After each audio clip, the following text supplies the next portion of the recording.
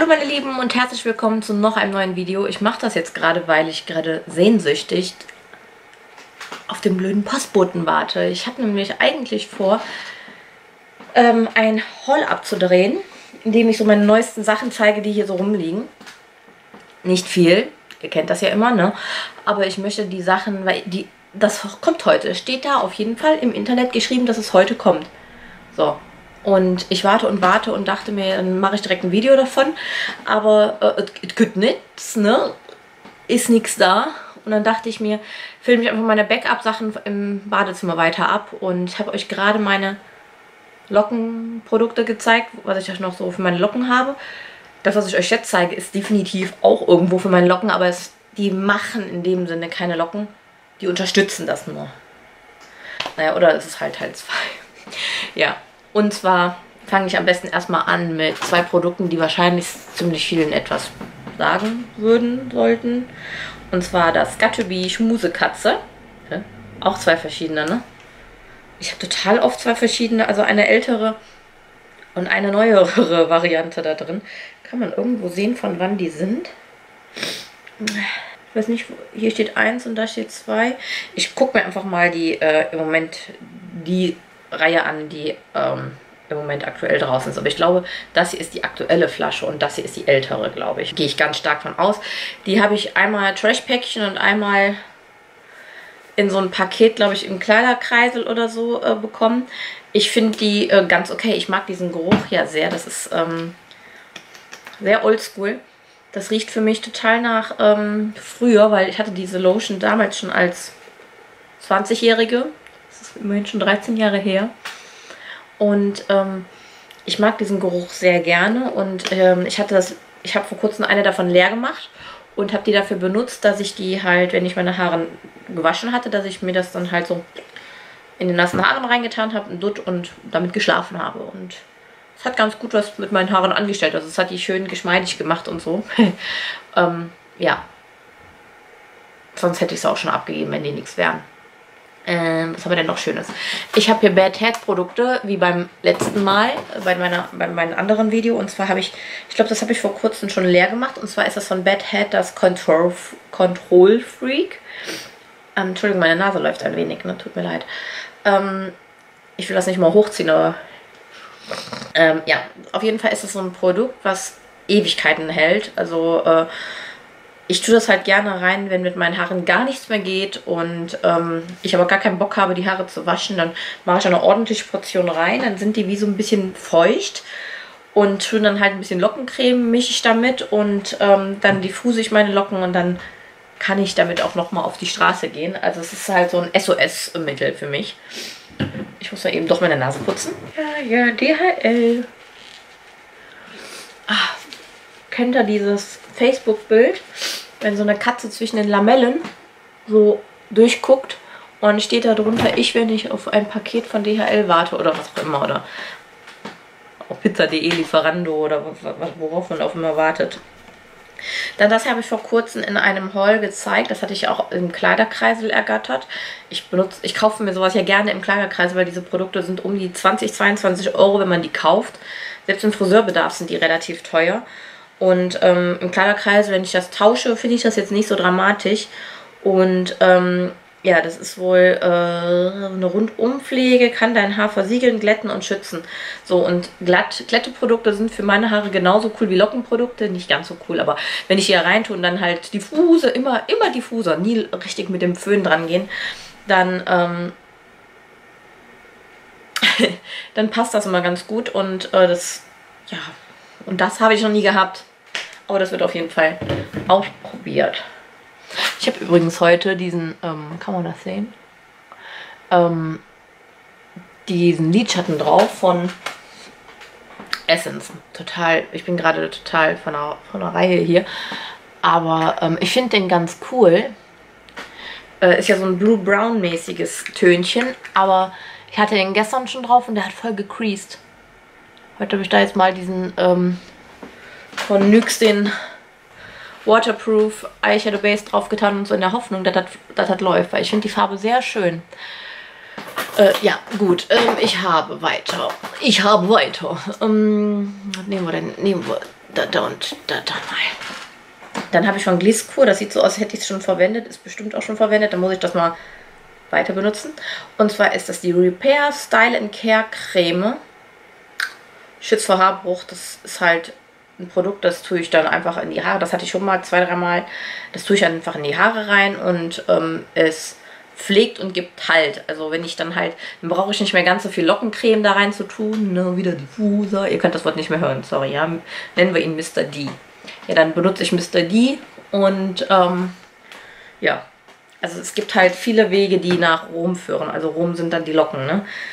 Ähm, dann habe ich hier, das habe ich noch nicht ausprobiert, ähm, ist das von TK Maxx. Das ist jetzt wieder so eine Sache, wenn das nämlich funktioniert, weiß man nicht, woher es man kriegt. Genau wie mein Bio-Keratin-Lockencreme gerade.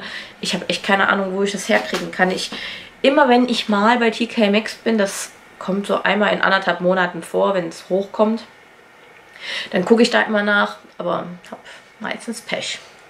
Ja, und zwar Keratina ich glaube, das ist sogar von der gleichen Firma wie das eine, ist das ein Treatment. Und zwar ähm, Anti-Frizz-Treatment. Und ja, das schauen wir mal, ob das was bringt. Ne? Das ist relativ flüssig, so ein bisschen wie so eine Art Serum fühlt sich das an, wenn man da so, wenn man das so ein bisschen wippelt.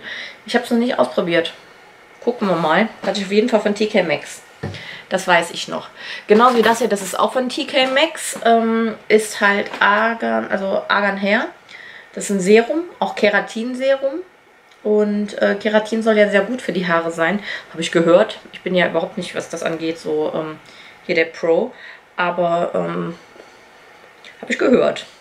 Und das habe ich schon ein paar Mal verwendet. Ich kann euch allerdings nicht mehr sagen, wie ich es fand. Aber ich glaube, ich fand die Konsistenz ziemlich cool. Dann habe ich das ausgetauscht gegen irgendwas anderem, was ich gerade neu hatte wahrscheinlich. Ähm, äh, dann habe ich zwei Frizz Ease Produkte. Und das eine ist auch benutzt, hat es wahrscheinlich auch wieder weggetan. Und zwar von Frizz Ease. Das ist dieses hier. Ihr seht, das ist ungefähr bis hierhin voll. Und diese Haarbändiger sind ja megamäßig. Aber auch megamäßig teuer. Die Dinger, die kosten, glaube ich, 15 Euro. Und da ist drin 50 Milliliter. Das ist nix. Aber gut, es gibt ja auch noch äh, Hair Doctor und die sind noch teurer. Und natürlich sind die auch voll gepumpt mit Silikonen wahrscheinlich. Ne? Aber es sind wahrscheinlich die guten Silikonen, die auch den Locken gut tun. Also für meinen Locken tut Frizz gut, ist halt so.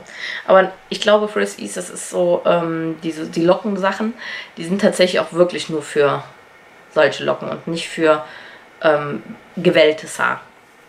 Ich glaube, man muss dafür schon so eine äh, Struktur haben, die das Schwere, was das Haarshampoo und so hergibt, dass es nach unten zieht, ähm, dass das gebraucht wird in den Haaren. Aber wenn ihr wirklich nur so leichte Wellen habt und die dann total rausgezogen werden ähm, durch das Schwere in den Produkten, äh, dann wird das nichts für euch sein. Habe ich jetzt schon ein paar Mal mit Zuschauern drüber geredet. So, und zwar habe ich hier noch die unendliche Geschmeidigkeit. Das ist der Anti-Frizz Primer. Der ist auch ziemlich gut. Den habe ich halt eine Zeit lang auch immer vor meiner Hairplopping-Methode, die ich nicht immer anwende, aber doch ab und zu mal, weil die einfach besser ist für die Haare. Ähm, habe ich dann immer reingetan und ich finde das auch wirklich sehr gut. Die, das Produkt hier, das habe ich ähm, mir gekauft. Da war das im Angebot für, ich glaube, 7,99 oder sowas, weil normalerweise kostet das auch das Doppelte.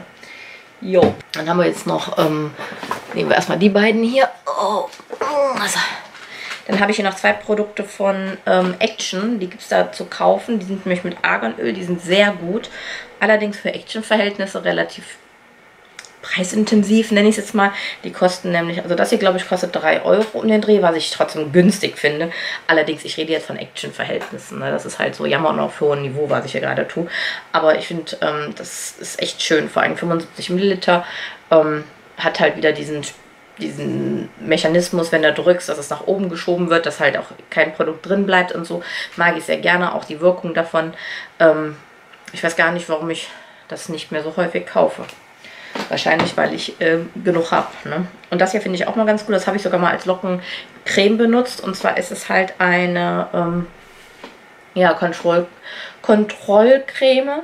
Finde ich, find ich auch ziemlich gut. Äh, ist halt auch mit Arganöl, lässt man halt in den Haaren drin. Und ähm, jetzt muss ich mal nochmal dran riechen. Riecht sehr seifig, angenehm. Ja, also wenn ihr auch so trockenes, strohiges Haar wie habt wie ich oder einen Action in der Nähe habt, ne? nichts wie hin dort, von Hegron nennt sich die Marke.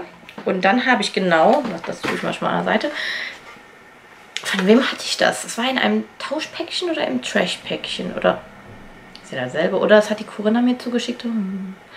Ähm, ja, und zwar von Kerastase ein Produkt. Schaut mal, das wird wahrscheinlich... Ne, geht von der... Ah, Blendfaktor gerade nicht so, ne? Ich habe keine Ahnung, so sieht das aus. Und ähm, das ist halt so eine Flasche. Das habe ich auch noch nicht verwendet. Das ist, ich muss das mal, ich muss das mal demnächst googeln, bevor ich das verwende. Ach so, hier steht was. Widerstandskraft und Glanz des Haar sorgfältig Handtuch trocknen. Zwei Tropfen feines Haar oder vier Tropfen normales oder kräftiges Haar. Also ich brauche acht. Äh, des Serums am Haaransatz auftragen. Ein Tropfen, einmaliges Drücken der Pipette.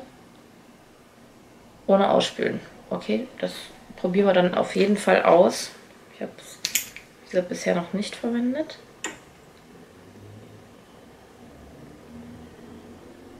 Mal gucken, wie das riecht. Das riecht auf jeden Fall sehr gut. Sehr, sehr, also so, ich mag ja dieses saubere, anstatt Kokos, Kakao und Fruchtbecher auf dem Kopf zu haben.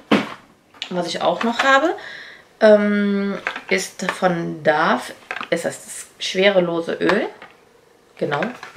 Das habe ich schon mal aufgebraucht. Ist ein richtig tolles Produkt, wie ich finde. Aber ich glaube, da war das noch eine, eine Glasflasche, als ich das noch hatte. Ja, finde ich ein sehr gutes Produkt und das wird dann natürlich auch verwendet, wenn es denn soweit ist. Post. ja gut, ihr Lieben, ich hoffe, das Video hat euch gefallen und wir sehen uns beim nächsten Video wieder. Haul oder so. Ciao.